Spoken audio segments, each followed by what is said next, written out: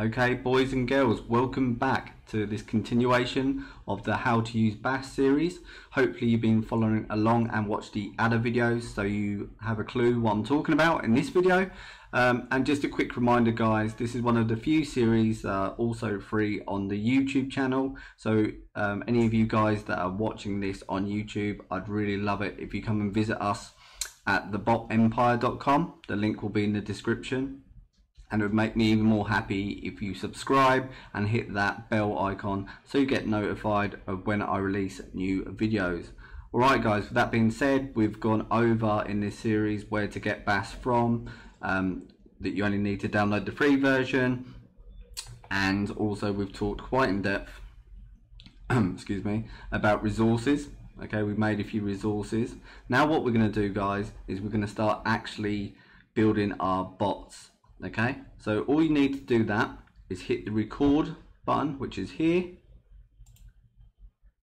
And what you'll see is what your your interface is going to look like to the user okay? And if you need to you could fill uh, these fields out. These are just your resources. So we could use a proxy list here. So just click that icon and tell it where your tell the um sorry tell BAS where your proxy list is okay? The number of threads. But none of most of these resources are not connected to the bot yet. And you'll see what I mean um, now.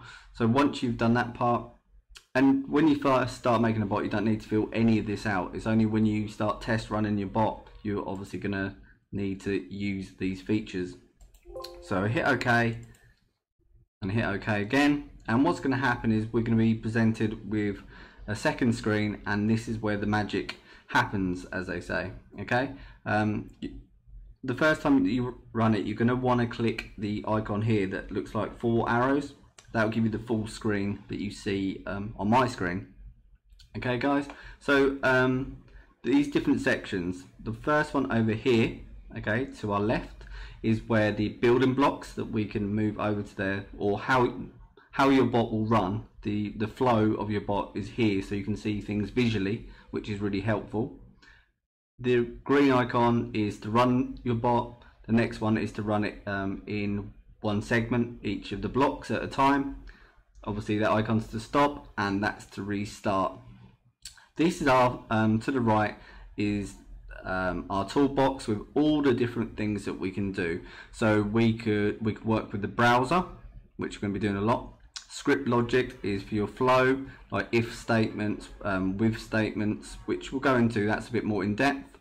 Um, you've got many tools here, here, guys. Some of them are self-explanatory and some of them are not, but we will be going over them in quite um, good detail.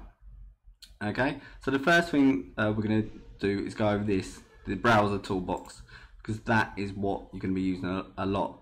So, in fact, no, what I'm going to show you first before that is here, so we can get stuck in with using resources.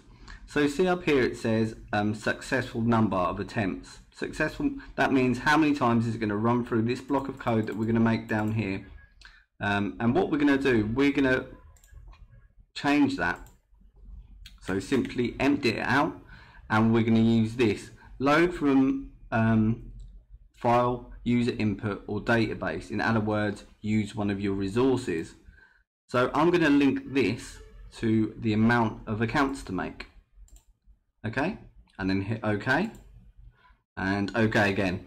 And you'll see it's changed now here.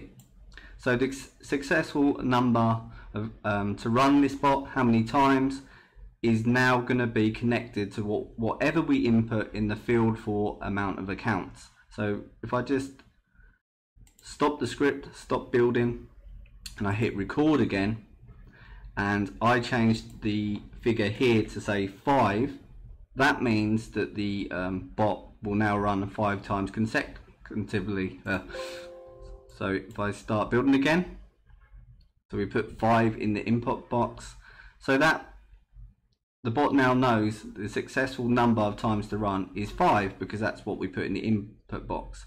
And for the failed number, I'm going to put connect it to the input box of yep failed um, fails allowed. Hit OK, hit OK, hit OK, done. And for the amount of threads to run, that means how many different uh, times this sim uh, to run the bot um, together. So you, if you were making a, an account maker and you had two threads running, that's like running the bot um, two times um, at the same time. Okay, we're going to talk about threading in a video. There's a there's free videos on the website, so get over to there to understand that in a bit more detail. But what I'm going to do, once again, empty the box. We always use this load from file, user input or database, and just change that to threads. Okay, hit OK, hit OK, hit OK. So I'm just going to go over that with you again. So I just pressed uh, to exit to come back to this screen where we built our resources. If we hit the record button now and we had threads as two. And we already said the amount of um, accounts to make five presuming we were making an account maker. You can call these resources whatever you like as you know. And we change files allowed to five. That's now connected. So now it would run two threads or run the bot two times um, at, at the same time. Um, it would know that we want to make five attempt uh, five times. We want to run this series of commands and the foul allowed we just put as five okay? So I hope that makes a little bit more sense on how we use resources. Um, now um, should I go into or should I wait for the next video? I think I'll leave it there to make these videos bite-sized guys. So basically we connected some of the resources that we made to our bot. Um, so the user input is used inside our bots. We, we changed the amount of threads, the successful amount of times to run the script, and the file number allowed. In the next video, we're going to start building the bot uh, by going into some of this, uh, these uh, tools, uh, especially the browser input. Start using our proxies and go on from there, guys. Okay, um, I'll see you in the next video.